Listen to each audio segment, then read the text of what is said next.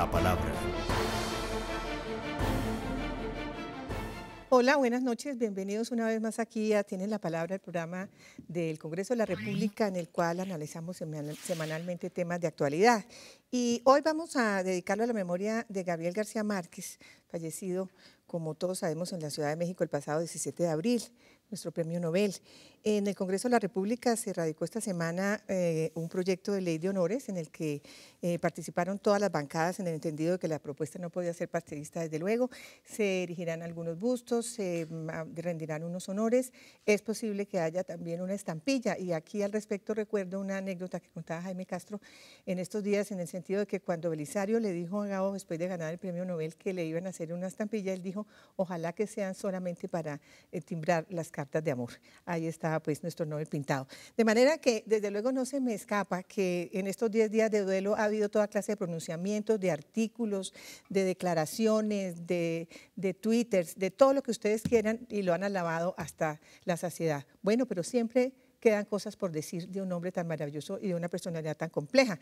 Eh, por eso invité hoy a tres de sus amigos que además demuestran, porque cada uno tiene eh, se desempeña en un ámbito diferente que demuestran cómo era esa versatilidad de, García Márquez, que tenía muchísimos amigos, es, así, y, le interesaban los temas más diversos. Tenemos en primer término a Ali Umar, quien fue su amigo toda la vida durante muchísimos años, desde que estaba usted muy chiquito, Ali, porque era muy jovencito, y pues actor eh, de televisión y en la actualidad director de televisión, está Alberto Salcedo Ramos, eh, uno y yo diría el mejor cronista en este momento de Colombia, y está el doctor Jaime Castro, exalcalde y exministro de Estado, político y jurista, constitucionalista que también gozó de la amistad de García Márquez. De manera que con este trío, y yo me voy a permitir la licencia porque lo conocí también hace 40 años y participé con él en, varias cosas interesantes y divertidas, en hacer un poco la fiesta de Gabo hoy. No vamos a, sí, nos dolemos desde luego de su muerte, pero también queremos cantarle a su vida, queremos cantarle a esa a esa alegría permanente que él manejaba y que hacía que cuando estaba en una reunión, en una tertulia, fuera el centro de la atención y de la fiesta. De manera que para empezar a mí se me ocurrió una cosa, a los tres les planteo esto, que no se ha dicho hasta el momento. Lo han elogiado cada una de sus obras, le han elogiado cada una de sus, eh, posibilidades en el cine, los legados que dejó, en fin, pero nadie ha hablado de que Gabo tuviera un defecto. ¿Sería que no tenía, doctor Castro García Márquez, defectos? Tal vez nosotros somos los menos indicados para hablar de las limitaciones, yo no hablaría de defectos que pudo tener el GAO, porque tenemos eh, partido tomado en razón de la amistad pero, pero que, como decía mi mamá, amor no quita conocimiento. Las madres saben muy bien los defectos de sus hijas, de sus hijos. Yo en este momento no, estaría en condiciones de, de recordar alguna limitación, algún defecto de Gabo no, no, no me viene a la memoria nada especial en, ese campo. Bueno, yo lo que pasa es que no sé si eso es un defecto, pero diría que podría ser una falencia, es que Gabo, mientras no hubiera más de ocho personas, sí.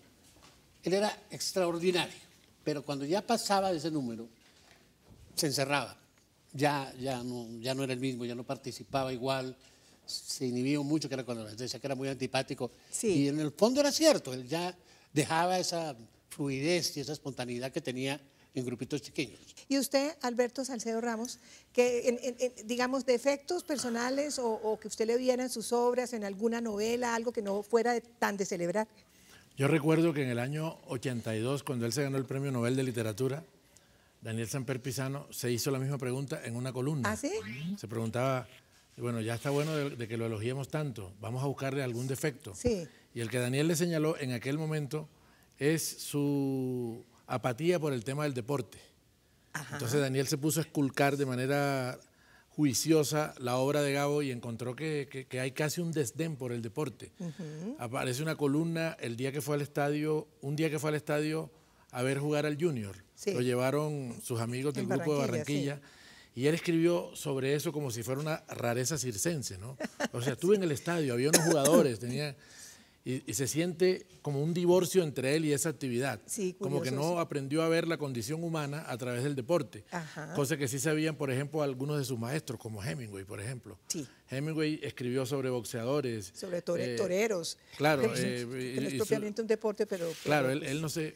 tiene una, crónica sobre Joselillo, un torero, ¿no? Sí, señor. Pero el toreo no es precisamente un deporte para mí. No sé. Ali, Quería decir, ¿usted tenía algo que...? Quiero quitarle la palabra un poquito a Alberto para hacer referencia a esto, alguna vez que vino Gabo a Bogotá estaba en el Hotel Hilton alojándose.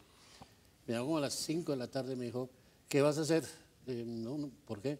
¿Por qué no se viene y charlamos y salimos a, algún lado?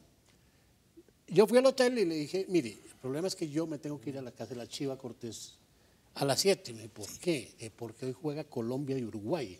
Uno de esos partidos definitivos que eliminaron. Y dijo, carajo, claro por eso todo el mundo me sacaba el cuerpo. Él llamó mucha gente y todo el mundo le sacaba disculpas, pero nadie le dijo que era por el fútbol. Entonces, si quiere, vamos donde la chiva, pero saber fútbol. Me dijo, vamos pues. Sí. No le paró media pelota al partido. Claro. Él la, otra cosa, nosotros veíamos el partido. Ya, después, pero de ser un poquito. Siguiendo un poco el ritmo de, Alberto. Inclusive yo le, mandé, yo le mandé con su hermano Jaime el libro mío, la biografía de Kip Belé. Sí. Y cuando nos vimos, me, me, me, hizo un, pelo, un piropo un poco envenenado. ¿Sí? ¿Qué le me dijo? Eh, este era uno de esos libros que yo no tendría por qué haberme leído. bueno, un poquito desdeñoso, sí. Claro, Jaime, pero, Claro, claro. Además, él, decía la verdad siempre, ¿no? Nunca ocultaba las cosas con mentiras ni con, ni, con, ni con medias verdades. Usted es un gran futboliento, por decirlo de alguna manera, porque lo suyo ya es, pues, eso ya no es virtud, ni esa afición, ni amor, sino que eso ya es una adicción total. Usted por su Santa Fe y, y usted ha sido dirigente deportivo y demás. Esa faceta también la notó, de que Gabo no, no, le jalaba. No la noté propiamente, pero estaba recordando que Gabo fue mamagallista por naturaleza. Insigne, sí. Y cuando decidía mamar gallo, no tenía inconveniente en hacerlo de sus amigos más cercanos frente a otras personas. Sí. Recuerdo bien que en un acto social en que estábamos en Bogotá, en un grupito, un cóctel, algo así, eh, estábamos ocho, diez personas conversando. Yo había acababa de salir de la alcaldía de Bogotá hacía pocos meses y tenía un gran desprestigio en la opinión pública. Y hay un momento en que Gabo y yo empezamos a hablar y los otros se callan oyéndonos y alguien dice, oiga, pero ustedes dos son muy buenos amigos, parece que son buenos amigos y viejos amigos. Y Gabo dijo inmediatamente, mi amistad con Jaime es superior a su desastrosa alcaldía. él hacía ese tipo de apuntes muy divertidos. Sobre, ese tema, sobre ese tema de Pambelé. ¿Qué más le surge? Yo utilicé en la, en la contraportada del libro una anécdota de él, precisamente. Sí. Una vez que él llegó a Madrid a una reunión de colombianos y alguien dijo, llegó el colombiano más importante. Y él dijo, ¿dónde está Pambelé? Entonces e, es, curioso porque no le gustaba el deporte, pero. Pero tenía presente quiénes eran y qué hacían. Desde luego que sí, pues eran unas personas mejor informadas de este país. Hay otro, hay otro, mm, otro tema en relación con, con Gabo y que hay muchos que le critican y hemos visto pues en estos días algunas declaraciones desafortunadas, desafortunadas que no hay mejor, mejor manera de tratarlas que ignorarlas, porque pues lo de esta señora Cabal y demás no vale la pena. Eh, pero sí hay muchos, muchos en Colombia que le han criticado que si hubiera ido, ido a vivir a México, que le hubiera dado la espalda al país, decían en una cosa completamente ridícula, Jaime, porque pues yo digo, el que se quiere ir a ver otro país santo y bueno, si le da la gana de vivir en otra parte, porque tiene que estarle dando explicaciones a nadie? Rafico Puyana, el clavicembalista, vivió toda su vida en París. Fernando Botero ha vivido 50 años por fuera en, en los Estados Unidos y en Europa. ¿Y quién lo llama a cuenta? ¿Por qué a lo tienen que estar pidiendo permanentemente explicaciones sobre el tema de que se fue a vivir a México. Esa es una apreciación abiertamente equivocada. En el discurso de Gabo en Estocolmo, cuando recibe el Nobel, se autodefine diciendo colombiano, errante y nostálgico. Era un nómada. Pone en primer lugar el tema colombiano. Errante. Gabo vivió Venezuela, España, Italia, Francia, Inglaterra, México. Sí, señor. Y tuvo apartamentos en varias ciudades del mundo. Era un colombiano errante, como son millones de colombianos que Era un ciudadano del mundo, digamos. Gabo era un ciudadano del mundo, a la hora de la verdad. Además, porque de esos viajes y de la distancia que ponía con el país, no sé si tú crees eso también, eh, Alberto, en relación con la escritura. Poner distancia del país aclara la mente, dicen muchos de los escritores que escriben por fuera, y, hacen ver a su país como, como, con, una, con un contorno mucho más definido, más fuerte, esa cosa del, del anhelo y de la nostalgia. ¿Es así? Sin duda, yo creo que él se alejó para ver mejor, para verse mejor también, ¿no? Yo creo que Gabo, la patria de Gabo era el Gran Caribe. Sí. era, era Caribe 100%. Él era Caribe 100%.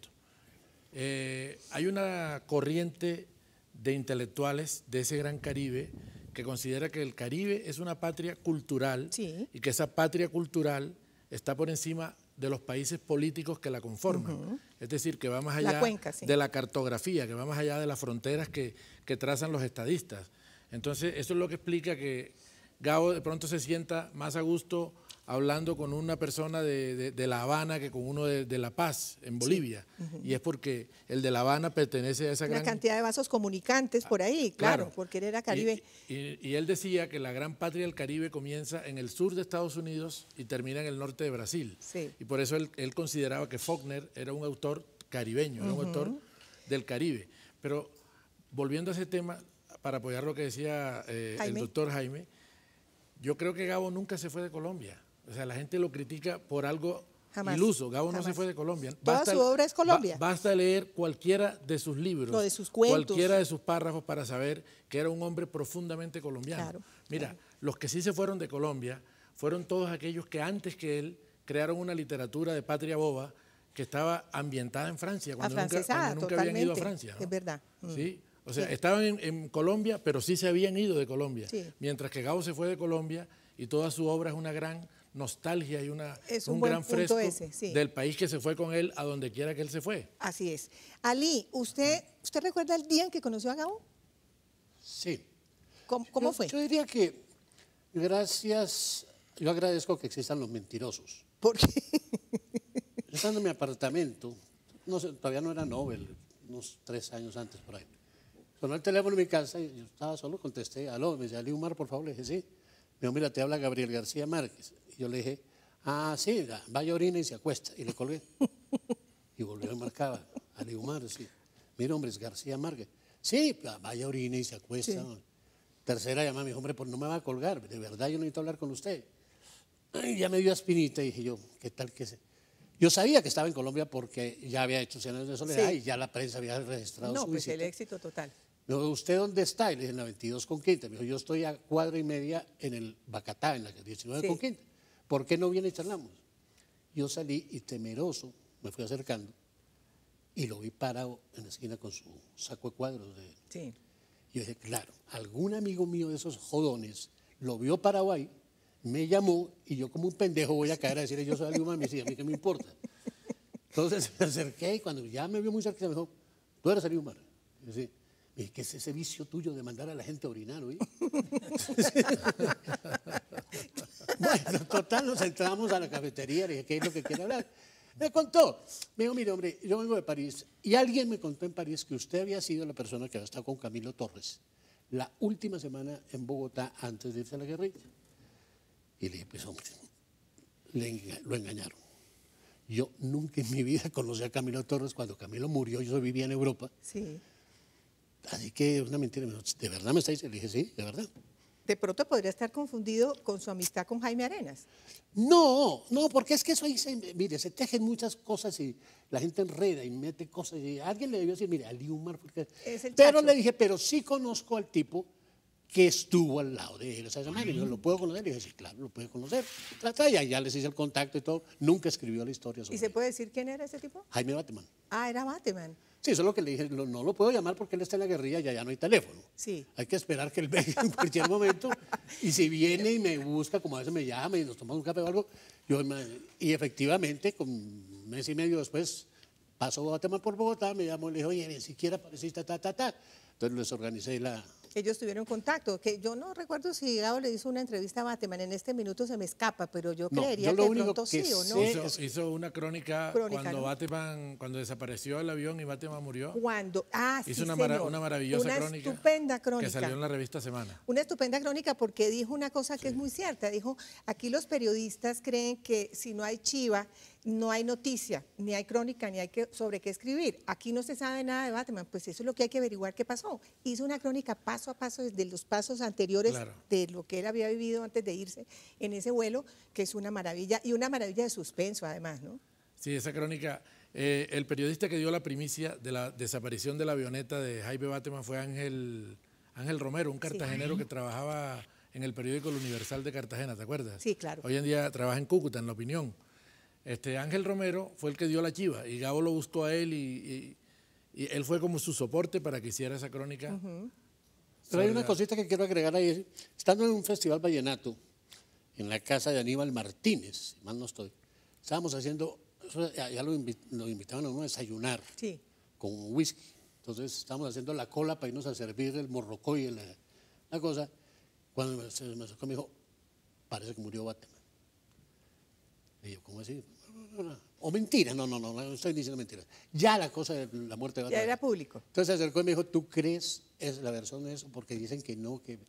Le dije, yo no creo que esté muerto. Yo sí creo. Y apostamos. Apostamos, le apuesto que no está muerto, pero le apuesto que sí. Le voy una botella de whisky. Le voy una Y al rato me dice, oiga, ¿usted se da cuenta de lo que estamos haciendo? Apostando, Apostando sobre la vida de, de alguien. La muerte de un amigo. Sí nos dio vergüenza, lo dije, sí, sí, qué pena. Claro, claro, era una apuesta un poco macabra, ¿no? Sí. Margarita, volviendo a la condición de colombiano de Gabo, vale la pena recordar que recibe el Nobel y toma dos decisiones. Un año sabático en Colombia. y se viene a Colombia a pasar su año sabático. Está feliz. Segundo, voy a fundar un diario. El otro. El otro. Sí, señor. Y lo iba a dirigir, no era simplemente promoverlo y ahí les dejo el periódico. ¿Por qué se diluyó ese, ese proyecto? Ese proyecto murió, entre comillas, cuando Rodolfo Terraño, que había sido invitado por Gabo a Colombia, lo había traído con los recursos de una sociedad promotora. ¿Quién es un periodista? ¿Terraño? Rodolfo Terraño, argentino, fundador de Diarios Argentinos, eh, uno más uno de Caracas o Diario eh, Uno más uno de México, tres periódicos muy parecidos al país y a la República. Era un poco ese el corte de diarios que él pensaba. Terraño viene y le deja una carta sí. en la que le dice, Gabo, ¿quieres fundar un periódico porque aspiras a ser presidente de Colombia? Fúndalo mañana mismo. Sí quieres fundar un periódico para hacer conocer tu punto de vista sobre los temas de actualidad, no lo necesitas, porque 17 periódicos del mundo se pelearían sus se pelean sus artículos. Y si lo creas, yo que te conozco, sé que te vas a dedicar las 24 horas del día para hacer las veces de director del periódico. Y Colombia y los latinoamericanos habremos ganado un gran periodista, pero perdemos un escritor. Tú tienes todavía mucho por hacer en materia de literatura. Y eso le llamó la atención a Gao y empezó a buscar otro director. Recuerdo mucho que pensó en el nombre de Josefón Castro, habló con él, pero el, proyecto no era el mismo con, director distinto. Hay que recordar también que Gao pues, fue fundador de Alternativa, la, revista con Enrique Santos Calderón, Antonio Caballero y todos esos de la izquierda, esos, los que llamaban los guerrilleros del Chico de la época, que hoy en día son de furioso centro izquierda, menos Caballero, pues que me mataría si me oye decir que sigue, que se convirtió en Ese es el motivo por el cual yo lo conozco. ¿Sí? ¿Lo de por Alternativa? Convocan a un almuerzo Fernando Gómez Agudelo, Rafael Naranjo y Gabo. Y Gabo pide que yo vaya, sin conocerme personalmente, yo mucho menos a él. Ya había escrito 100 años. Era ministro de Justicia. Yo era ministro de Justicia. Del doctor Pastrana. Ya él había escrito 100 años de soledad, estamos hablando de mediados de los 70, pero no tenía el Nobel. Sí, pero se cocinaba en su éxito. Me dice en el almuerzo, parte de los recursos del Rómulo Gallegos que he ganado en Caracas lo voy a dedicar a defender en Colombia la causa de los presos políticos. Pero yo no quiero que eso sea plata de bolsillo de nadie, yo quiero una fundación, una ONG que se ocupe del tema. Y me dicen que usted, ministro, no me dará la personería jurídica porque equivaldría a reconocer que hay presos políticos. Sí. Y eso me lo dicen mis amigos de Alternativa y apuestan a que no habrá personería jurídica. Le pues están equivocados porque usted tiene derecho a esa personería jurídica, usted o cualquier otra persona. Me dice, usted me asegura que me da la personería jurídica, yo le aseguro que no da la personería jurídica. Me dice, le voy a pedir un segundo favor. Quédese callado, porque voy a regresar, me reúno con ellos esta noche y les digo, bueno, ustedes dicen que no sale la personería jurídica. Si yo la saco, ustedes ponen tanta plata para la fundación como yo. Si no la consigo, yo pongo el doble. Pongo el doble. Ese es el, motivo por el cual empezamos una, amistad, muy larga. Una amistad muy larga. Ali, ahí está, está la otra faceta del Gabo político, que era eminentemente un, un, hombre que sentía y vibraba la política y la mayoría de sus obras son obras de gran contenido político, no solamente las relativas al dictador en en el, otoño. en el otoño, pero La Mala Hora, La Hojarasca, la misma Cien Años de Soledad, cuenta toda la, toda la saga de, las guerras liberales y las guerras de políticas. En fin, em, ese gado político, ¿cómo, lo, cómo lo, lo, veía usted? En un momento determinado, cuando él se va exiliado a México, que no fue exiliado propiamente, yo recuerdo que yo iba en el avión con él, yo me fui con ellos, con él y con la Gaba, eh, yo era directora de Cromos para Ciudad de México, porque ellos pidieron que la embajadora de México los invitara a dormir y al otro día tomaron el avión para irse a México porque lo iban a interrogar en la Brigada de Institutos Militares. Era el tiempo del doctor Turbay, de las caballerizas de Usaquén, Usaquén perdón, y de la, el Estatuto de Seguridad. Él dijo que no se iba a dejar manosear porque le informaron de que lo iban a detener y podían tenerlo 10 días sin informar dónde estaba. Obviamente él no podía hacer eso. Era, pero, pero él se fue de aquí nunca en carácter de exiliado, que nunca estuvo en México con carácter de exiliado, como tampoco nunca se nacionalizó como ciudadano mexicano, a pesar de que sus hijos lo eran.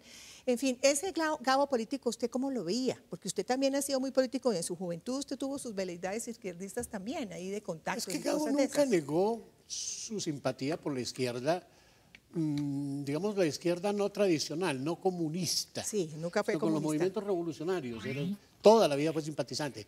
No participaba. Bueno, porque aquí. Toda la vida le propusieron ser candidato de la UP, de la no sé qué, de la. Jamás en la vida se dejó tentar por, por eso.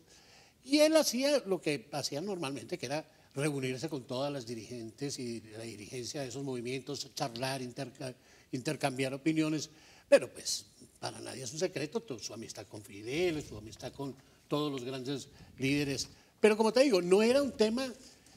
Ahí, él le preocupaba mucho el tema de la paz en Colombia, eso sí, eso, sí lo, como, que lo como que lo desvelaba un poquito y hacía referencia mucho a eso. Pero de resto no, a la política tradicional o a la politiquería tradicional del país, no era propiamente su pasión. No, desde luego que no, era un gran crítico de ese tipo de política, desde luego, como ocurre. Bueno, vamos a hacer ahora una pequeña pausa para ir a las redes en el Congreso de la República a ver cómo se han movido en relación con este tema de Gabriel García Márquez. Ya regresamos.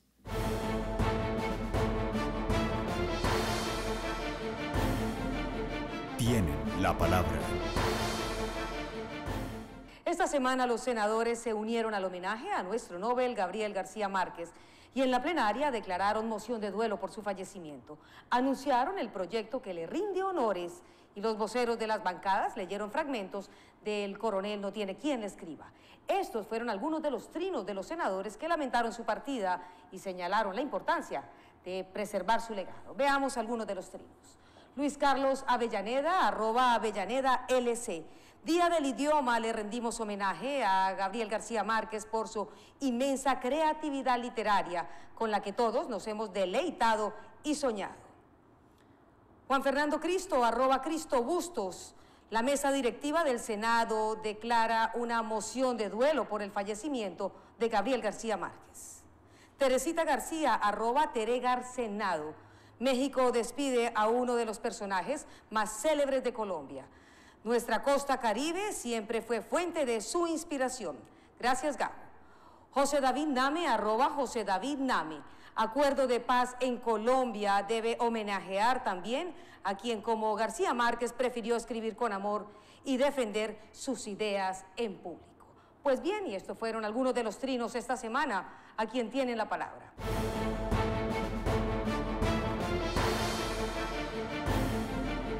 Tienen la palabra.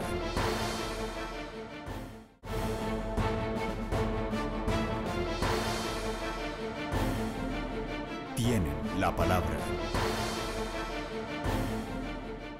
Bueno, estamos nuevamente aquí en Tienen la palabra en un programa que le hemos dedicado a recordar con, alegría a, a Gavito. Y lo llamo así porque creo estar autorizada con 40 años de amistad. Recuerdo cuando lo conocí, precisamente en la casa de Fernando Gómez Agudelo, se iba a grabar la telenovela de La Mala Hora, la primera que se hacía por fuera de estudios, y yo hacía un papel ahí que no era actuado, era hacer entrevistas con eh, víctimas de la violencia partidista en el Tolima. Y él quiso conocerme, fue ese día a la, a la cena, llegó de guantes, me acuerdo muy bien, con su traje, con su chaqueta de cuadros y una rosa amarilla para mí. Desde ese momento hicimos clic y, fuimos muy, muy amigos y muy compinches. Era una delicia de verdad asistir a las, a las tertulias con él. Y quería contar una cosa que nos sucedió a mi marido de la época, hace veintipico de años o más, tal vez no se ha ganado todavía el Nobel, eh, estábamos en Quemada, un bar de, de, Cartagena que habían puesto después de que grabaron allí la famosa película donde actuó Marlon Brando. Y, entonces estaba Gabo y la gente se fue yendo y nos quedamos ahí tomando unos tragos y conversando hasta el infinito. De pronto fueron las cinco y media de la mañana, estábamos con un hambre terrible, nos botaron y entonces él dijo, vamos donde Luisa Santiago, su mamá, a desayunar. Y nos montamos en un jeep destartalado que tenía de esas ruedas sin fin por los andenes, porque claro que el licor había sido bastante abundante, hoy, sería imposible. Y, llegamos, estaba ella con su manguerita regando las matas del jardín y le dice Gao, Luisa Santiago, venimos a que nos des bistec a caballo para desayunar. Y ella voltea con esa tranquilidad y le dice, pues Gao, hace tiempo que no mandas para la carne serán huevos revueltos. y con la cachaza más, más inaudita como era él, ah, bueno, que sean. Y entramos y desayunamos y eso fue pues una fiesta muy divertida. Pero él tenía todas esas eh, esas, esas, digamos, esos pequeños detalles, esas, esas contestaciones, esas, esos improntos que eran una maravilla, esos chispazos, eso sí, por aquí me soplan eh, chispazos, que es la palabra que estaba buscando. Nos quedan tres minutos, entonces, para redondear, primero entonces, como usted, ¿qué le gustaría decir finalmente sobre Gabo, sobre esa amistad, sobre ese ser maravilloso y escritor extraordinario? Sin duda alguna, Gabo fue un ser humano de calidades excepcionales tuvo un sentido muy particular de la amistad. Decía que escribía para que sus amigos lo quisieran, más. Y él hizo muchas cosas por sus amigos sin que ellos nunca lo supieron. Ocasionalmente, con el paso del tiempo, llegaban a enterarse de que Gabo había hecho una u otra cosa a favor de esos amigos. Así fuera una frase, algo que dijera en relación con ellos. Para mí esos son los aspectos más destacables desde el punto de vista humano en García Márquez. De esa gran generosidad. Alberto. Ah, bueno, tú acabas de mencionar a, su madre, a la señora Luisa Santiago. Ella, cuando ella murió de casi 100 años, ya había perdido la memoria. Y hay una anécdota de ella que es muy macondiana, es muy, eh, tiene esa chispa eh, que él le heredó seguramente, sí, y que incorporó en una parte a su obra y la otra la, tenía para andar por ahí en sus relaciones personales. La anécdota es que Margot, una de las hermanas de Gabo, llegó de Barranquilla con unas amigas y dijo, vamos a mamarle gallo a mi mamá. Sí. Entonces fueron de la señora Luisa y ella le dijo, mamá, a que usted no me conoce, a que usted no sabe quién soy yo. Usted no sabe quién soy yo. Le dice la mamá, no joda, no sabes tú y voy a saber yo. Típica contestación garcía marcana, macondiana, desde luego que sí, divertidísimo. Ah, ¿usted qué, cómo le gustaría terminar este, este, este, este recordatorio? No, yo creo que más o menos la misma tónica de recordar esas salidas maravillosas de Gabo que lo dejaban a uno supito y eh, en alguna ocasión estábamos en una fiesta casa, político, no estoy.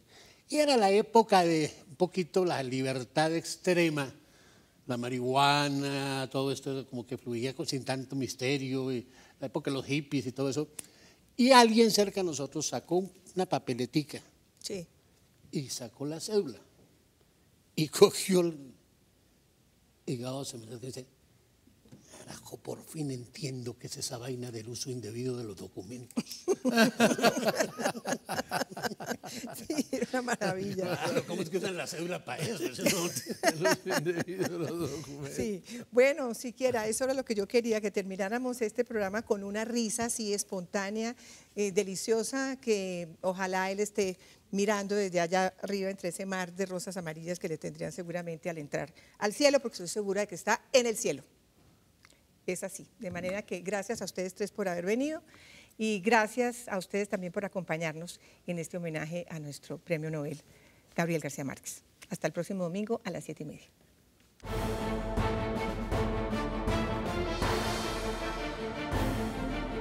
Tienen la palabra.